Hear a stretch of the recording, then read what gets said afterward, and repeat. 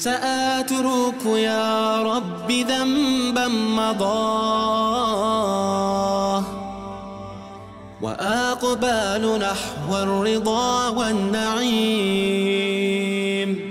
أحبك ربي وهذا رجاي بأنك تقبلني يا كريم. بأنك تقبلني يا كريم We find ourselves in a situation where we are surrounded by something which cannot be seen by our naked eye. We are surrounded by a virus which has disrupted everything around the world.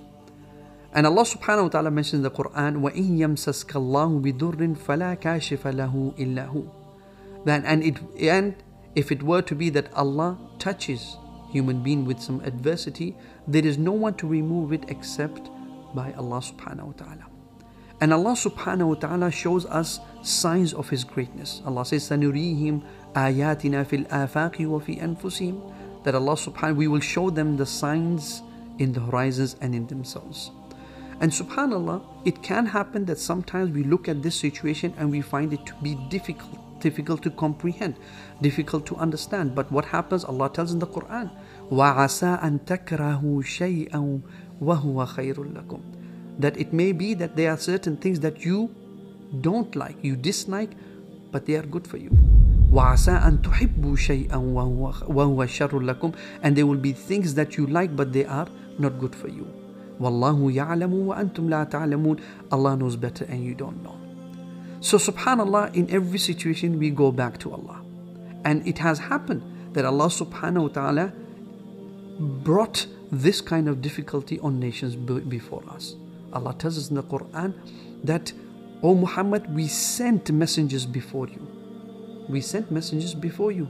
Then فَأَخَذْنَاهُمْ بِالْبَأْسَاءِ وَالضَّرَّاءِ And then we tried them, tested them with poverty and hardship and so forth. Why did Allah test them with these kind of trials? لَعَلَّهُمْ يَتَضَرَّعُونَ So that they can beseech Allah, plead to Allah subhanahu wa ta'ala in humbleness and return back to Allah. And that is what we have to do.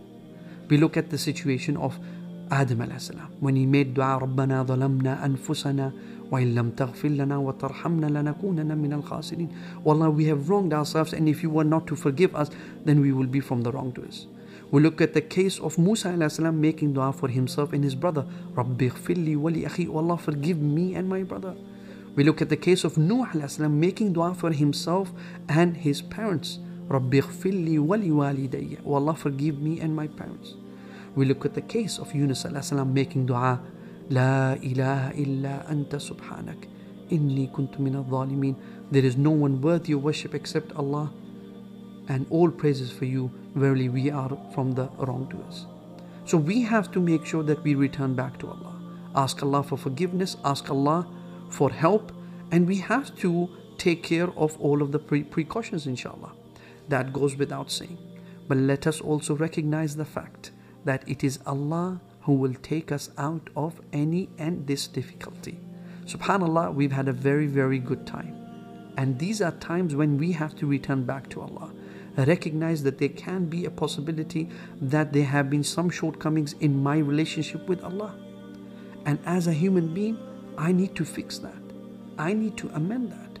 And subhanAllah, by following what Allah tells us, by following what Prophet ﷺ did, by following the Sunnah, Allah will bring us from the leaders of this ummah. Subhanallah. We are followers of what Allah tells us. We are followers of what Prophet ﷺ has done.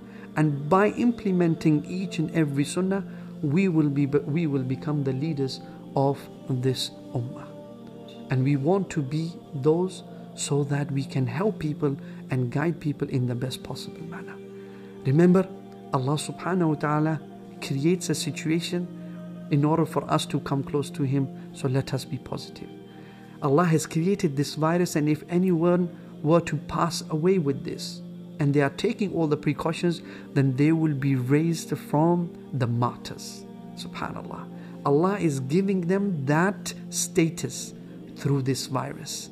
Subhanallah, they had, may not have had the ability, opportunity to go out and and, and take part, but Allah is giving them that honor. And that is how great Allah subhanahu wa ta'ala is. He brings about a situation that we cannot comprehend or understand, but He raises our rank. And that is the greatness of Allah subhanahu wa ta'ala. Let us remember Allah. Let us take make tawbah to Allah. Let us thank Allah for what Allah has given us and let us make sure that we capitalize and utilize this opportunity of coming close to Him. وجزاكم الله